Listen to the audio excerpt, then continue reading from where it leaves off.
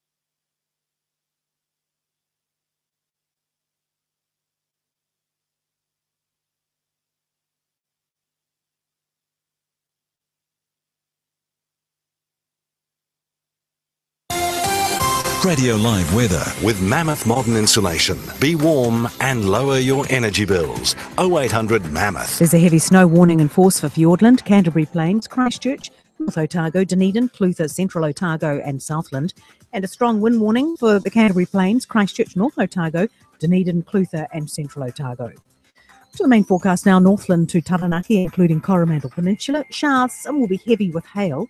The Bay of Plenty fine with the odd shower. Gisborne and Hawke's Bay fine today, but showers tomorrow morning with snow to 400 metres in Hawke's Bay and 700 metres in Gisborne. Taupo and Whanganui to Wellington, also for Wairarapa and Marlborough. Isolated showers becoming widespread tonight. Snow down to 300 metres overnight, clearing tomorrow morning. Showers return again north of Manawatu tomorrow afternoon. Nelson fine. Canterbury, brief showers today with snow to 400 metres, mainly fine tomorrow, but heavy showers about Banks Peninsula and snow to 200 metres and severe southwesterly gales. Buller and Westland, a few showers north of Greymouth, fine further south. Otago, Southland, and Fiordland, showery with hail and possible thunderstorms and severe southwesterly gales. Snow down to sea level this evening with significant accumulations above 200 metres. I'm Jenny Marcroft. It's six past seven on Radio Live. It's Sunday Social, an hour dedicated to social media with Vaughn Davis.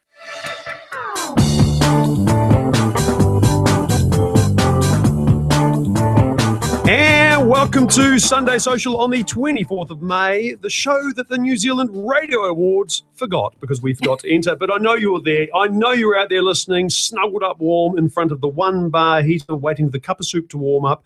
Welcome, welcome. If you would like to tweet me, I am there at Vaughn Davis. I'd love you to be part of the show. Text 3920 keyword live. And YouTubers, we cater for you as well. YouTube.com slash Vaughn Davis TV. And you can not only hear the show, you can see it too. I've got my best hoodie on. but first,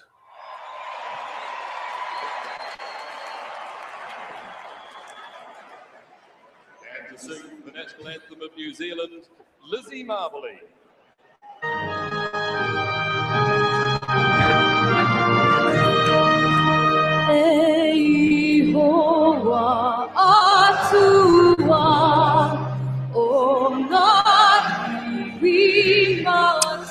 Well, that's Lizzie Marvelly, as most of us know her, standing in the middle of some god-forsaken paddock, belting out the national anthem before a test match while the rest of us sneak in a quick toilet break before the haka. Or, if we're at the game, mumble our way through and hope no one notices we don't know the Maori words. I, I don't watch a hell of a lot of rugby, so when I see Lizzie, it's online, tweeting away at Lizzie Marvelly, which is why I've got her on the show. Welcome to Sunday Social. Thank you. It's lovely to be here. It's a cold night, isn't it? here in It's Auckland. chilly. Yeah, it's a bit stormy out there. It's low double digits, which for us is It's very cold. it's us, it, it is very cold. Hey, well, this this this show is all about the social media, and Twitter is, as I said, where I know you from. Is Mhm. that where you spend most of your time, sort of online and social media? Is, that, I- is that your, your digital homeland, if you like? I think so. Yeah. I mean, I'm I really love Twitter. Uh, I do end up spending quite a bit of time on other social networks as well um, around the web. Um, but yeah, Twitter has kind of become, you know, like my my news source and where I kind of catch up with what people are doing. And yeah, I'm I'm a big Twitter fan. The, the, the idea of catching up with people is, is interesting because as someone, I, I'm guessing who sort of largely works sporadically, right? You'll go into a gig and other, other than that, you would sort of be sitting alone. You don't have a workplace. You don't turn up to the office and No, say, I'm a "Oh, freelancer. Morning, morning, morning. You know, No, you don't, you don't, clock, you don't clock in at around the marvelly.com, right? So. So this kind of takes its place.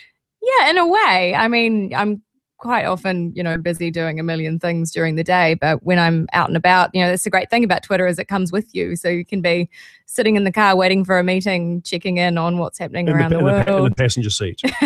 oh yeah, not while 'cause you're not- driving. You're not, allowed to. Although I did, I did see today going there's one of those AA, you know, those AA sort of rescue trucks going down the motorway. He had a huge, he didn't have a phone. He had a whole entire laptop. The- well, on- on a that's kind of ironic, really, isn't it? I know uh, the, the, the laws probably don't don't cover that. It's probably not illegal, not technically. So, uh, how much time a day in a day do you spend on this jolly thing? Do you think? This is the sort of thing people usually accuse me of. But Yeah, well, I am a big kind of devotee. Um, I don't really, I wouldn't really count it. I kind of check in in between things. So uh, I wouldn't really probably spend, you know, like a solid hour on Twitter, uh, but it might be something that I'll check in on, um, you know, just kind of when I've got a spare moment. And, the gap, someone once described it to me early on as the the the mortar between the bricks of your day. yeah, I which I actually would kinda kind of agree with that. And, and uh, Twitter's one of the things you do, but w- w- what are the other places you sort of hang out online? You don't have to tell about secret ones, just the just. All the, right, so the none public of the private viewing ones None then. of the private viewing ones. Um, so I spend quite a bit of time uh, on Facebook, um, also YouTube, Instagram. Uh, those are kind of the main suspects, and then obviously I have um, kind of favorite websites that I'll you know check in with some news sites and a couple Ye- of blogs. Yeah, I want I want to talk about websites a little bit later on, particularly as a as a you know musician, a singer, a composer. Mhm. Um, we were talking about Facebook before though, and this idea that it's meant to be dying, right? For- Well, yeah, for that's what young everyone was people, and- saying. And you're a young people.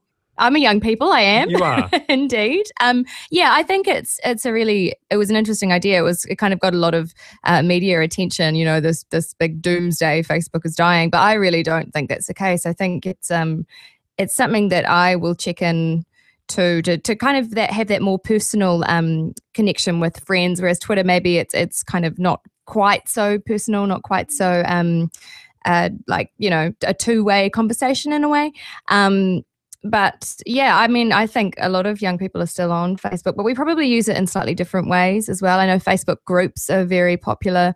Uh, that kind of allows people to to shut, you know, that kind of public uh, element of Facebook down, so it can be just the group of people that you want to be talking to. Yep. Um, so yeah, but I think more and more I'm saying Facebook is like the great referrer to the internet uh, as a whole. Yeah, because I mean, you know, the internet is big. Who has time to look for stuff? Exactly, it's like it's curated for you. Which is which is good and bad. Yeah, I, I I kind of I haven't really completely made up my mind about uh, Facebook. Uh, I I do like spending time there, um, but I do actually prefer Twitter. As someone who is both an individual, you know, like a 25 year old person, but also a brand, does the, well, you, you you are right. Um, I don't know if there are t-shirts. Are there t-shirts? Can you get- you no, probably- you there's no t-shirts. There are probably fan made t-shirts. Um, how do how do you does does that constrain how you behave online? Do you go, oh, geez, I better not say this. This won't do, go down well. I'm, you know, I'm, I won't get another booking if I say if I you know if I say what I really think about that person on TV. Well, I think it's an interesting one for all of us to think about, you know, not just people who are in the public eye. Um, because, I mean, once things are online, they're kind of there, they're out there.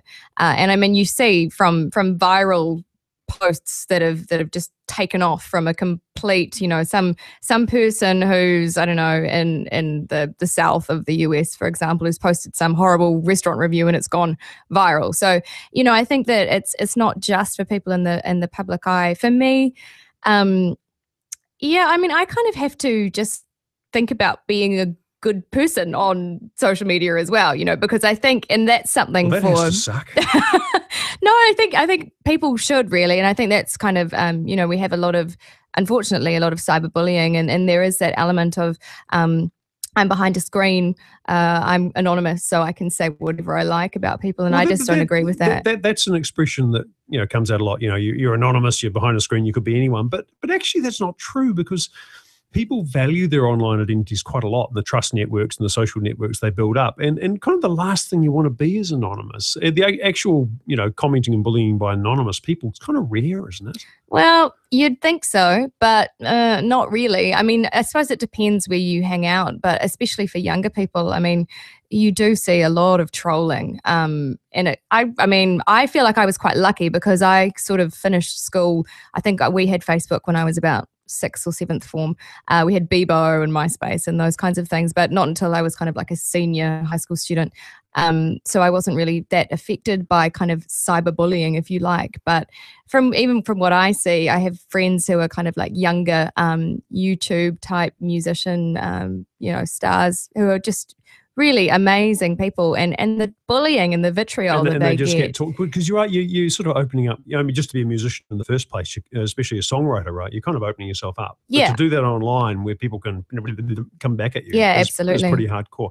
I, I was um, looking at a looking at an app the other day with that my 16 year old son recommended. Hot at school at the moment. Hot. It's called, it's called Yik Yak. Have you Oh, heard uh, of I have heard of this. Yeah. so this is this is deliberately anonymous. You you can't you can't really be yourself on Yik Yak, and it's just people saying stuff about other people in a in a certain geographical area. And it feels like a I don't know. It feels like a formula for secondary Disaster? school bullying. Yeah. Yeah. I mean, at, at- one level, it's it's kind of interesting. You know, imagine if you're on a you know a bus in a town you've never never been in. You turn on this thing, and, and suddenly you can you can hear can the people, conversations yeah, without yeah. having a local social network, which I guess was the idea. But what it's actually being used for is, you know, let's pick on Lizzie. She looks funny, but you know, we, we'll we'll name her, but no one knows who we are. Yeah, absolutely. I think it's it's interesting, you know, this kind of idea, all of this sharing and this connectivity. And I think it can be really incredibly positive. And I'm a big proponent, obviously, of social media.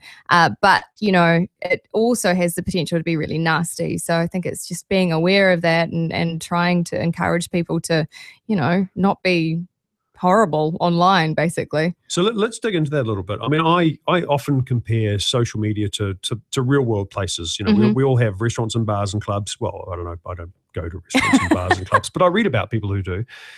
And some of them you walk into and you feel welcome and warm and everyone smiles and they're polite. And others you feel unwelcome and you feel threatened, especially as a woman. There are places Yes, yeah. in the real world where you don't feel safe, Mhm. and there are places online where you don't feel safe. Yeah, that that's very true. I mean, there's uh, an interesting kind of movement online, the um, MRA, men's rights, um, you know, and it's it's a kind of a very interesting um, segment um, of the online kind of population, but it can make it very threatening for people to, you know, people who are expressing themselves, especially women who are standing up and and having opinions. I mean, there's the whole Gamergate um, issue. Uh, some, you know, this is the, uh, I think it's like feminist frequency. Uh, Anita starts with an S. Can't remember her last name, but she, you know, really was kind of hammered by this this men's rights group.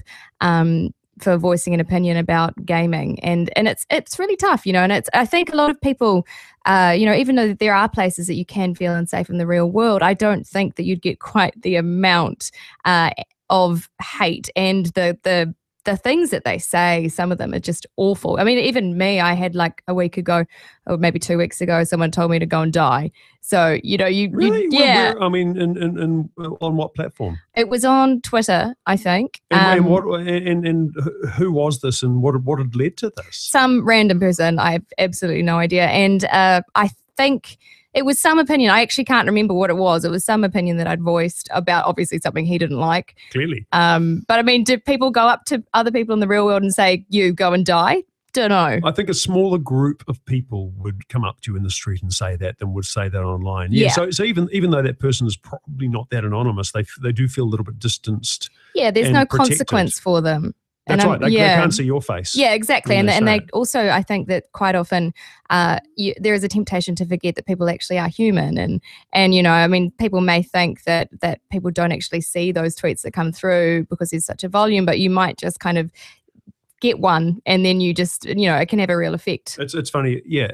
The, the the the thing that social media does is connects humans to humans. You know, with with even even if the the humans are within big companies or Yeah. the humans are, are famous.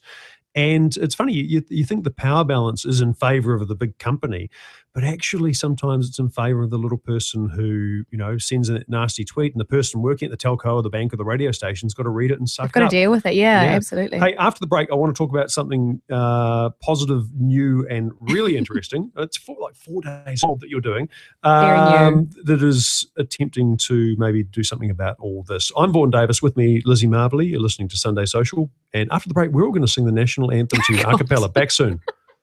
Graham Hill's Weekend Variety Wireless. It's hard to find death on stage on the internet. I don't think that's part of the part of the conversation. It's conversation. fascinating to see though, because all these comedians talk about their death moments on stage, and I've never seen one. the same kind of sensibility as Willy Wonka and the Chocolate Factory, I think. Yeah. That kind of mixture of almost genuine horror with comedy and kids' entertainment. I mean, you couldn't get away with the child snatcher now. You'd frighten too many children. Yeah, I, I just love like the slogans. I always like to look for guys' slogans. His slogan is "Defeat the Washington Machine, Unleash the American Dream." Uh, it rhymes. that must be true. What does it mean? Graham Hill's Weekend Variety Wireless. Weekend nights from 8 till midnight and available via podcast 24 7 at radiolive.co.nz.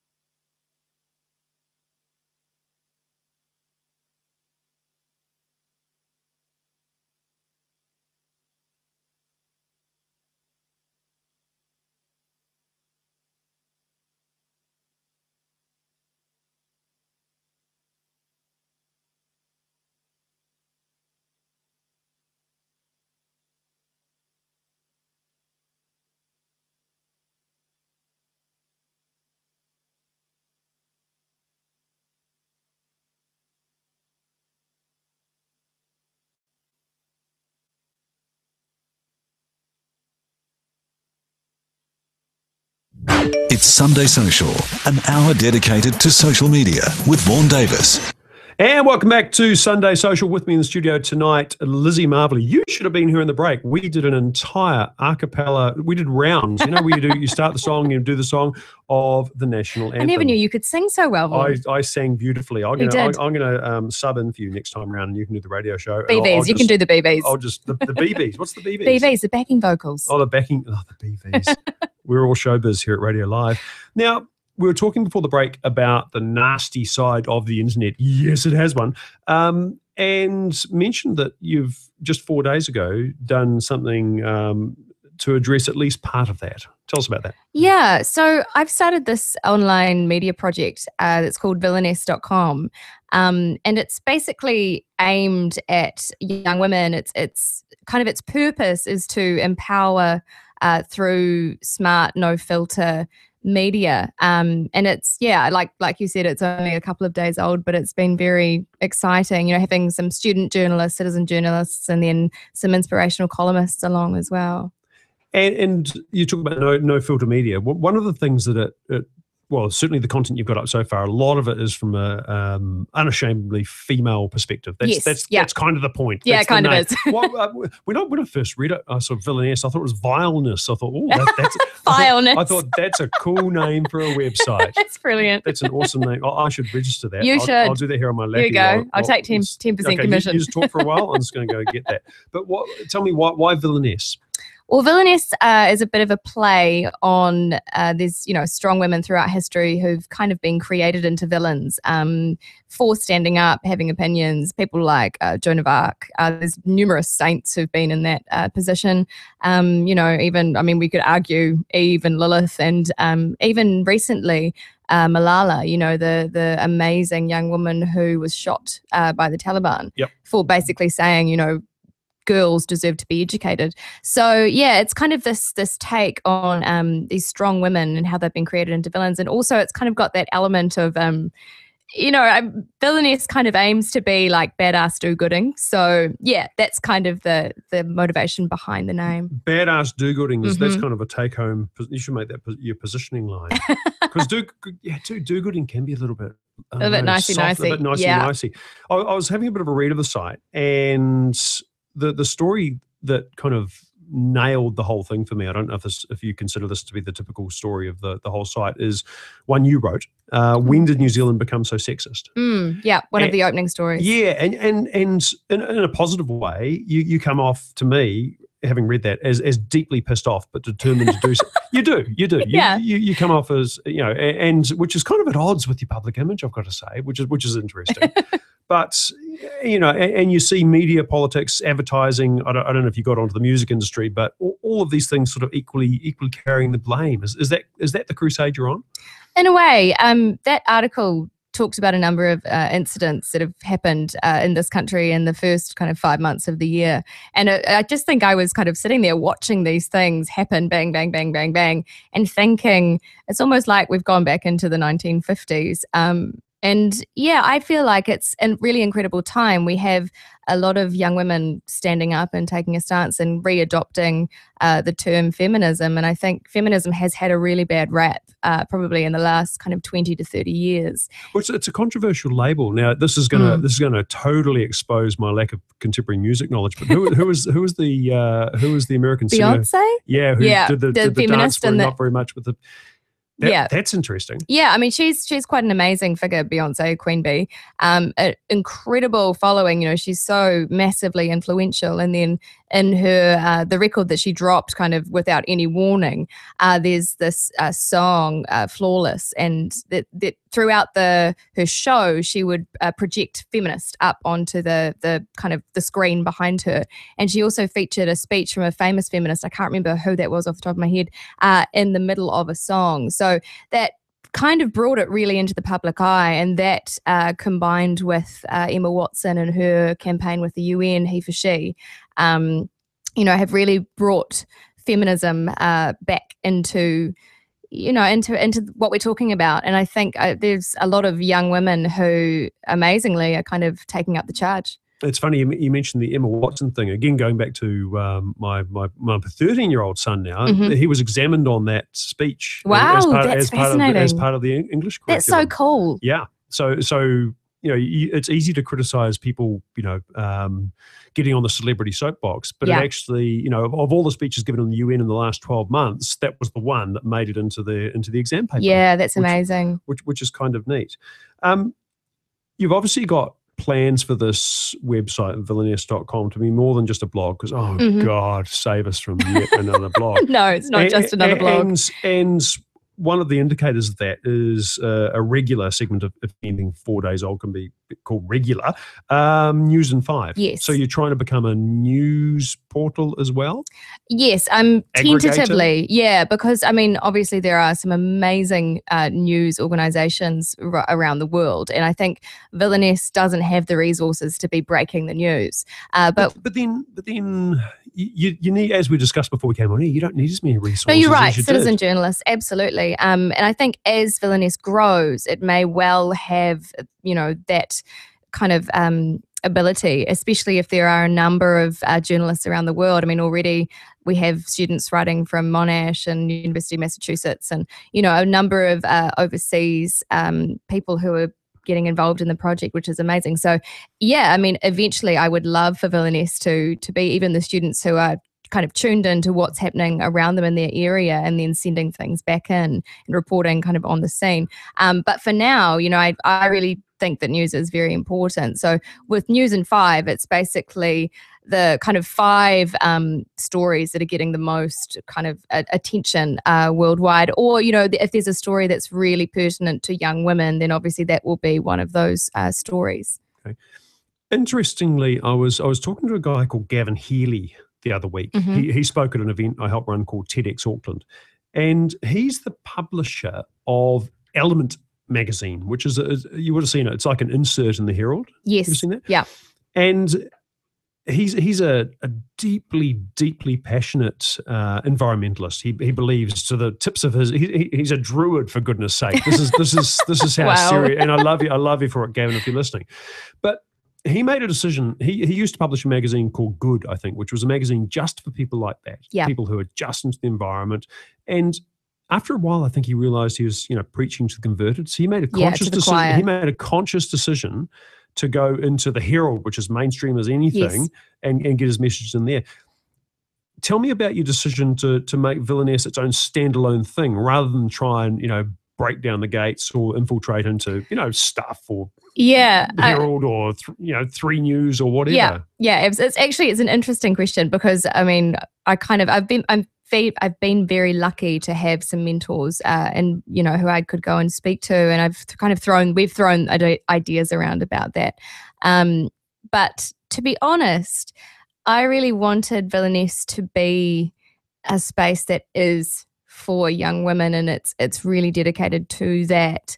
Um, I also, you know, I think we can all acknowledge that the media has had massive sweeping changes in the last decade, let's say, um, and probably beyond even further back than that.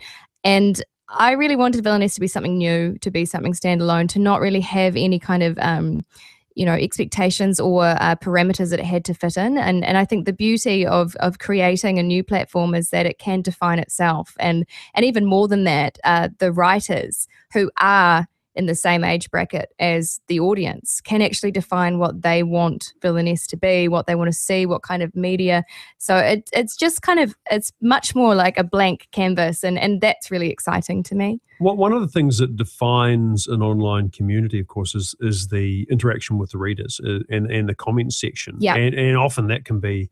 You know, I was, I was looking at the NBR this afternoon for some reason. I don't know why. No, I was looking at the NBR because I wrote something in it, and I was. I oh was well there we go I- that's a good reason no, no one had commented. It just went up yesterday. We're digressing. We're talking about me. Um, how is the comment session section working out in Villainess so far? So we What does it tell haven't you? we haven't kicked off yet, Ah, uh, which okay. is interesting. Um, but yeah, I mean, no, actually, like it is open, but we haven't had anyone commenting yet. We've had we've got a um a measure in there called love, so you can love an article. So people have been loving things. Uh, I think it's going to take a little bit of time to get the community talking uh, amongst themselves. But you're right. I mean, the the community is absolutely essential. Um, so I think as Villainess starts to gain a bit of traction and, and get a few more eyes, and hopefully it will just build organically. Well, hopefully it will after tonight. And is there a business plan for this thing? Is this going to be a moneymaker for you, or is this going to be something that you put time and money into? Well, there is a business plan. Um, the idea is for Villainess to be a business. Um, although uh, I'm really, really focused on ethical business. So, you know, everything that Villainess does, um, I really want it to be good for the demographic that it serves. Uh, and also, you know, my kind of dream, which is probably a little way down the track, would be for Villainess to have like a foundation arm uh, where it could, for example, um, fund underprivileged young women through university or things like that. So, you know, I think um, hopefully Villainess will grow to be a successful business and then hopefully it can start to make a difference to some of its readers' lives. Very cool. Lizzie Marvelly from villainess.com. Thanks for joining me tonight Thanks, on Sunday Social. Hey, after the break, all the apps, gadgets, doohickeys, websites, and all that other jazz you've just got to get into this week with the so clever Mr. Louis Van Wyck. Back soon. Winter is coming. And so are the Audi Quattro Winter Games NZ. Radio Live has your chance to be there. Getting in the draw to win this incredible prize is easy. Online via our website or by texting keyword winter to 3920. The prize includes return flights to Queenstown for two, fabulous accommodation for two nights with a AccorHotels.com, and wheels thanks to Jucy. Win an Audi Quattro Winter Games NZ experience, proudly supported by Radio Live.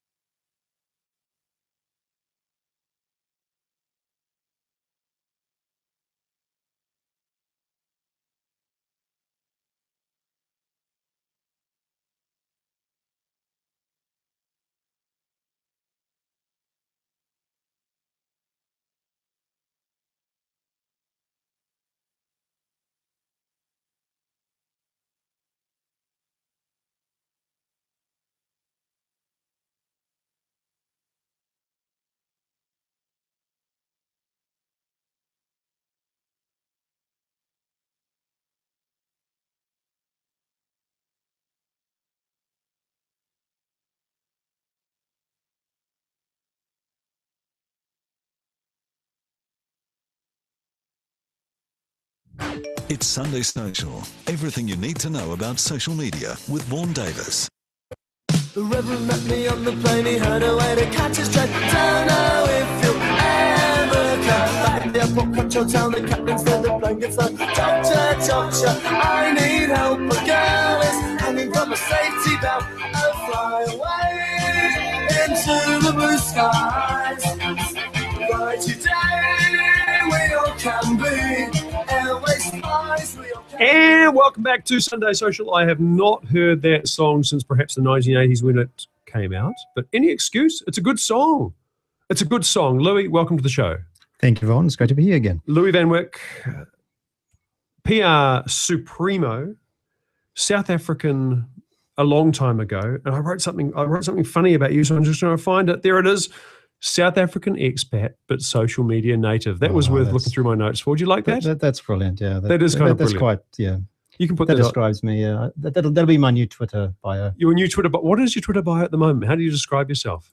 Can't remember, can you? can't It was all those years ago. Hey, the reason I played that awesome piece of music, Airway Spies, is because the very first thing you want to talk about, Louis, is what I want for Christmas. Yes, uh, it's the Lily drone camera. So, what's different about the Lily drone camera is that, unlike other camera drones or drones with Of cameras, which there are plenty. There are plenty. This is the first one, which a is basically, and uh, it's got an integrated camera, whereas the others have camera attachments. But the really cool thing about the Lily is it flies itself. So you don't have to fiddle around with any controls. You throw it up in the air, and, and literally, people are, I I saw the video on, on on the demo. They just throw up in the air, and it just takes flight by itself. I think that is insanely cool That is very because the the cool thing about drones is they fly around and they they photograph things and you know they they you know um, get points of view that you wouldn't otherwise get. But the really dumb thing about them is you've got to stand there with this little console.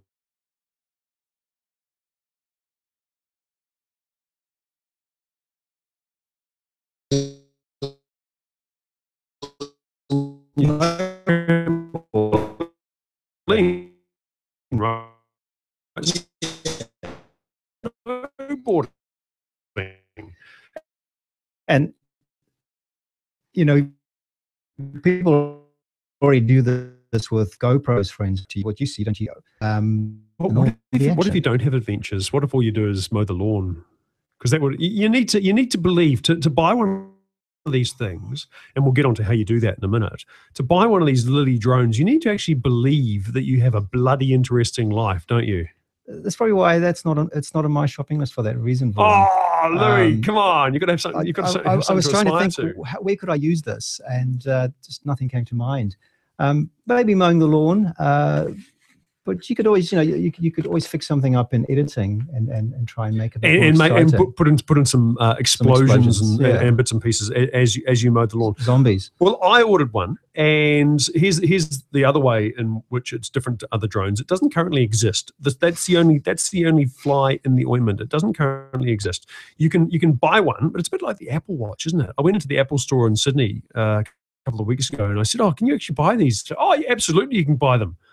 I said, "Oh, okay. Um, how? Oh, you order them online. Oh, okay. And they arrive in July, so you can't actually buy one. Well, you can buy them, but you can't. yeah, you can pay, but you can't get. Hmm. So Lily's a bit like that. So if you go to the website lily.camera, Yeah. who knew that camera was a top level web extension? Anyway, go to lily.camera and you can plonk down $499 US and they'll send you one in February 2016. And I, I was just so excited that I, I plonked all my money down and I, I just used the Radio Live credit card and didn't didn't realize that firstly it doesn't come till February 2016.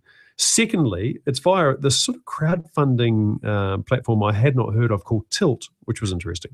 And if the whole whole endeavor just collapses and they go out of business, you don't get your money back. I've paid Yeah. my full, oh, well, Radio Live has paid its $499. It's gone, and you got nothing for Christmas. It's gone totally. And the other thing that broke my heart is I, I just assumed, right? I assumed this thing flies fast enough to keep up with my real airplane. So I could just throw it out the door, take off my airplane, and it'd, it'd just faithfully follow along, you know, chronicling my adventures.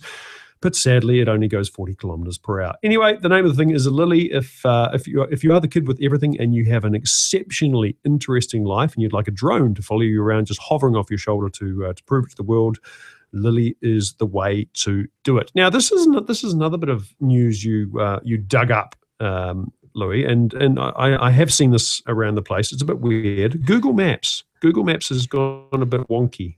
Yes, there's a there was a, a thing that came that people discovered during uh, the, the last couple of weeks where if you put uh, uh, the N word, the really bad N word, into the Google Maps search box, Which is where you normally write, you know, uh, Search Ponsonby an Road address, yes. or Sky Tower or That's something. right. Yeah, So- so, you put that in instead. So someone's gone in and so so the actual phrases were N-word house or N-word king, and it would come up with an interesting location being the White House so, so Washington. that's a bit that's a bit squirrely. It's a- it's a little bit as you as you might say. strange. And and what's actually interesting about this is that uh, this isn't a hack. This isn't someone has gone in and and and made this happen. This is basically because people have used those terms in online discussions, online discussions about that particular place. And they've linked the two things together. it's linked the two and, things and Google's together. been sneaky, sneaky, sneaky, and just just thought it was being helpful Mhm. and associated the two things. Yeah. So that's kind of one of the um, drawbacks if you're using user generated content to answer questions online.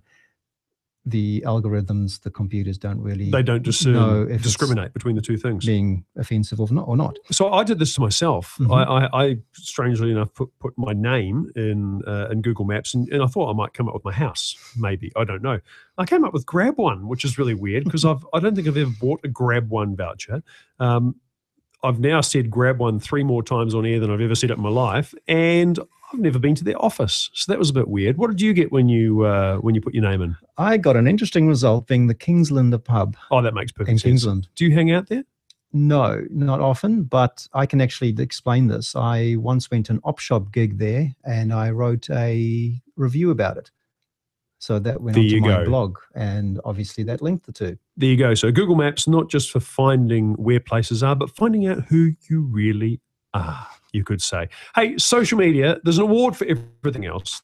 There's an award, there's probably plumbing plumbing awards. I went to the Meat Awards the other night. There's certainly some of those.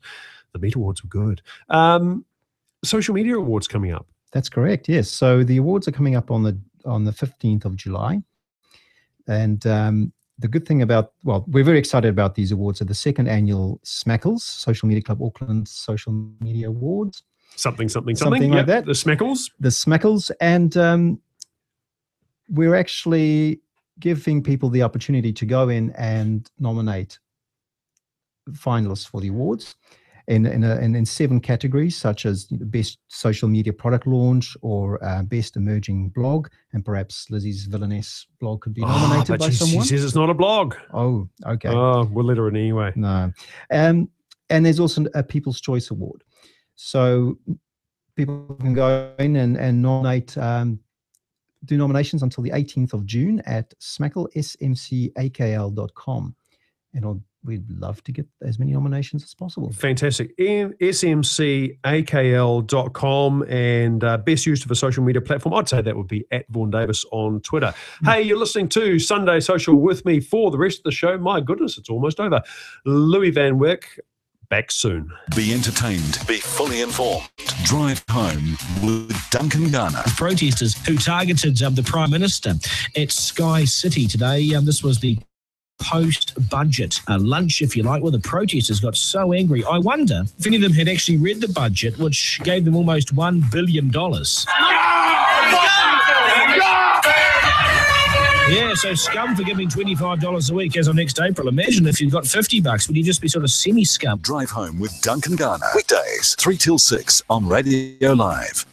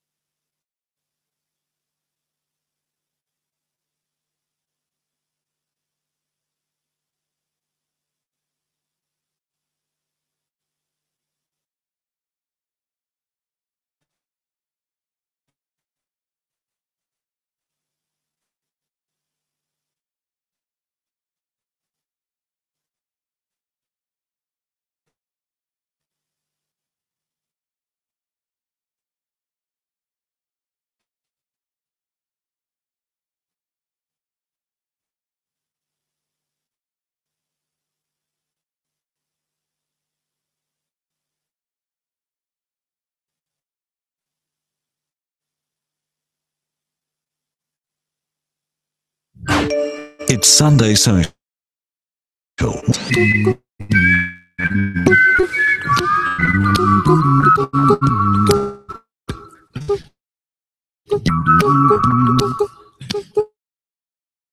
Don't worry, be happy. There are 1.49 billion. And most of them are rubbish. I have spent the entire clients were working through the internet and finding the good stuff. Forget, I would say that that interview from the first half with Lizzie Marvelly is up right now. Or actually, don't listen to it. Listen to it. Dot indeed and and Sunday social back because that Villainess thing sounded. Hey, look, man, Yes, you, you're in business. You go to business meetings with business people, and a lot of times in business meetings, you have to sign contracts. That's right. And problem is, if you're not in the place and someone's emailed you, how they, you know, it's easy enough to print it out and sign it, but what do you do then? Well, an app for that, right? I do. And it's called Scannable by the sample who brought you Evernote. Just the camera in your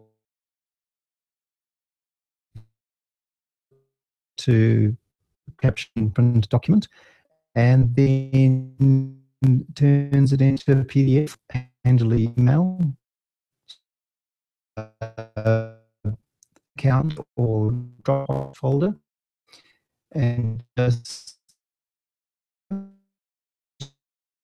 to go scanner. Well, who's anymore? I can't remember. who's it. So I, I had a bit of a play with it. It's actually it's pretty cool, and and, it, and it's free, and it steps you through the the, the process of using um, onboarded, if that's a word, to an app quite so um, convincingly as I have to this app called Scannable. Um,